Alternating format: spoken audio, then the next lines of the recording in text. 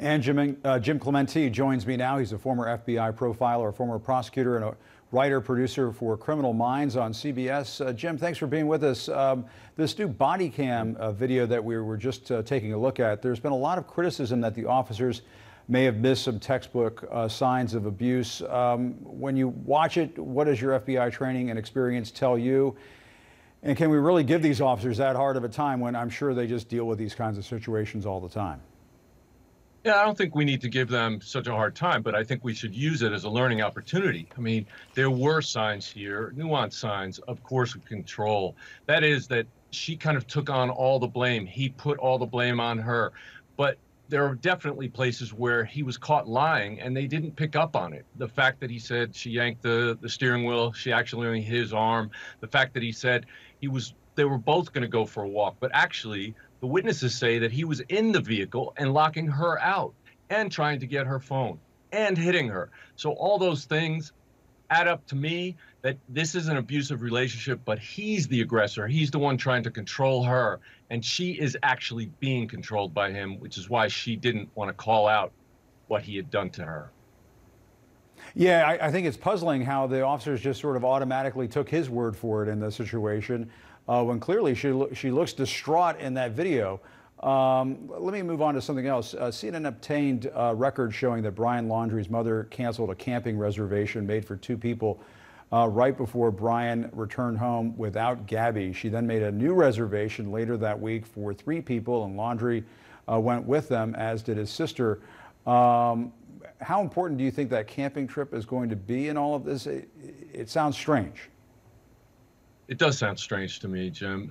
Basically, if you know a young lady who lives with you is missing, not missing down the block or missing around the corner, but missing over 2,000 miles away, and then you decide to go on a camping trip knowing that she's not around, not knowing what's happening to her, not telling her parents that you don't know where she is, that's some really suspicious behavior to me.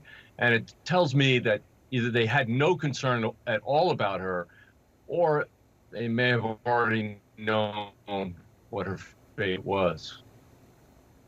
And, and what do you make of the fact that Brian Laundrie uh, bought a new phone right after he returned, from what we understand, uh, but then left it behind? Uh, it sounds like he's on the run. Yeah. Um, the fact that he bought a new phone, uh, you know, people get burner phones all the time. Uh, a phone that isn't necessarily attributed to him, but he went to AT&T to get this phone, so it sounds like this this is a phone with a plan. The thing is, he could have taken out the SIM card from that phone and left the phone there, and then plugged that SIM card into any other phone that, that accepts a SIM and use that phone wherever the hell he is. And I think that that may be what happened here. The fact that the FBI now have the phone doesn't mean that he didn't take it with him and leave it in his car at the at the uh, preserve where his car was found. I think there's a lot of information that the family isn't sharing, and unfortunately, it just opens up more and more questions about their behavior. And there have been so many theories about where he could be as a, as a former FBI profiler. How, how do you narrow this down? Do you have any hunches?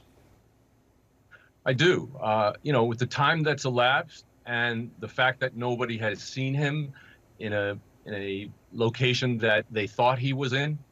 I think he could have made it to the Appalachian Trail. That's 2,200 miles of trails through mountains and ravines. There are caves, there are valleys, there are thick wooded places where he could hide. People spend months there on the camping trails. And I think that is probably the kind of location where he will be found. He'll eventually have to come forward to get food or water or he will just be seen by somebody passing by. Yeah, I would I would assume by this point he has run across, if he's still alive and on the run, uh, that he has run across another human being.